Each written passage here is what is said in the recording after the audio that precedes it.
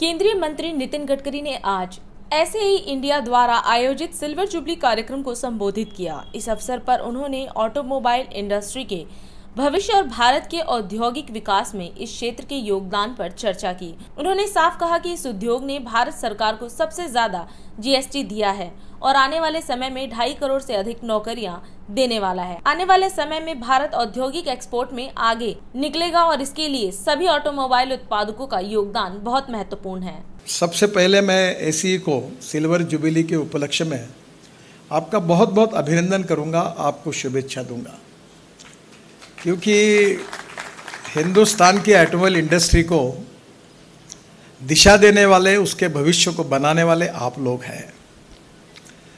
कभी कुछ बातें याद रखनी नहीं चाहिए।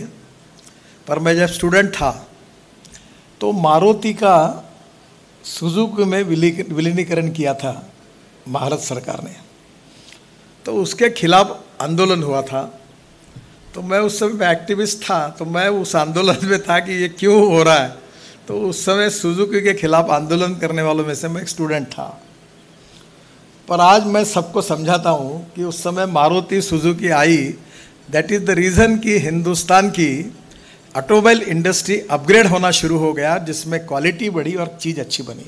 Innovation entrepreneurship science technology research skilled and successful practice we name it as knowledge and conversion of knowledge into wealth is the future for the country और आज भी देखिए ग्लोबल इकोनॉमी में तीनों बातों की चर्चा हो रही है।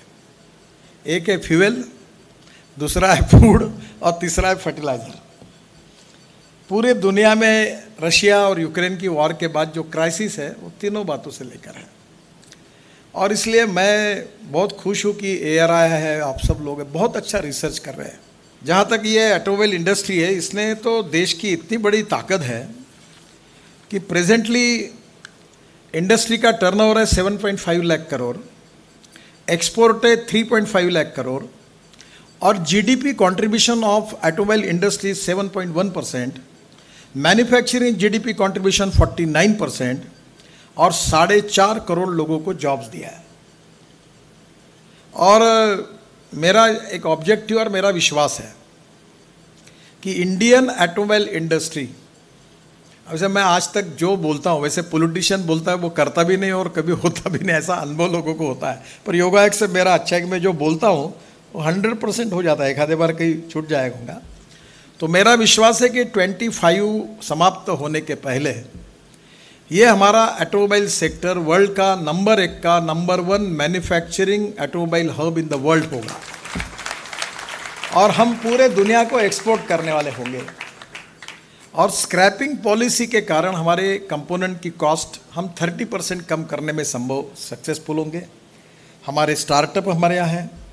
वर्ल्ड की सबसे young talented engineering man power हमारे पास है। और हमारे यहाँ इतना रिसर्च कर रहे हैं, स्टार्टअप आ रहे हैं। अभी ढाई सौ लोग तो स्कूटर बना रहे हैं। और जो स्कूटर बना के लाई एक बेंगलोर के कंपनी की, मैंने स्लिक मॉडल देखा, इतना सुंदर बनाई उन्होंने। अभी इलेक्ट्रोलाइजर बना रहे हैं हमारे इंजीनियर तो मुझे लगता है कि यहाँ टैलेंट की कमी नहीं है।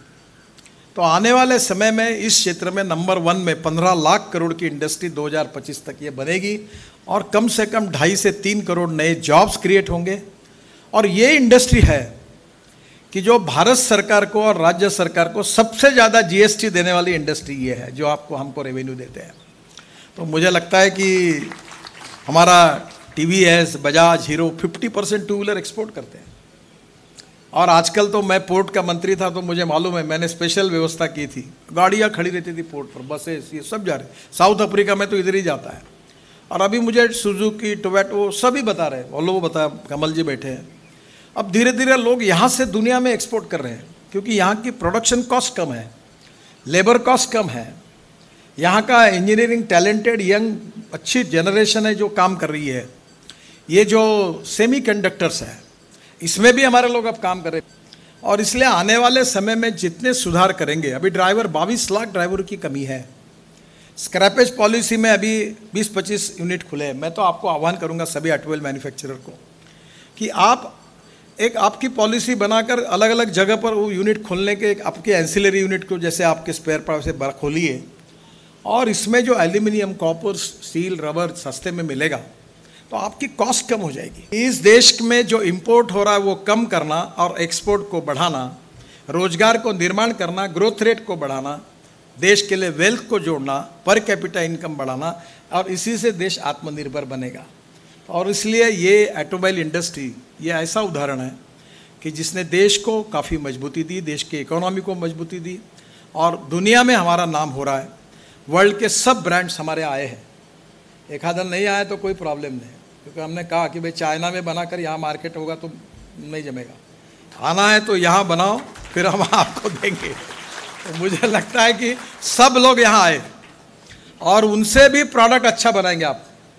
अब आपके मॉडल देखकर मैं आपको बताता हूँ कि जो जो ऐसी बड़ी बड़ी नाम नहीं लेता मैं किसी का।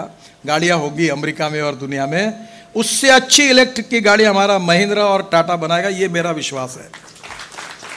कि हमारे यंग टैलेंटेड जो नए डिज़ाइनर है, इतना अच्छा काम कर रहे हैं। और ये इंडस्ट्री देश के लिए, देश के भविष्य के लिए सबसे अच्छी है। आपका बहुत अच्छा कंट्रीब्यूशन है सोसाइटी का कंट्रीब्यूशन है। और आगे भी इसी प्रकार से इंडस्ट्री बढ़ते रहेगी।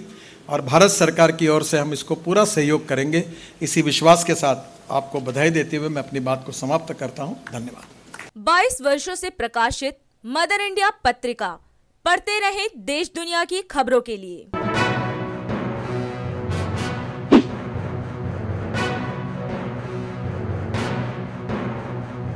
छब्बीसवे वर्ष में आपके लोकप्रिय समाचार पत्र इंडिया दर्पण का प्रवेश। आप देखते रहे अपने क्षेत्र की खबरें।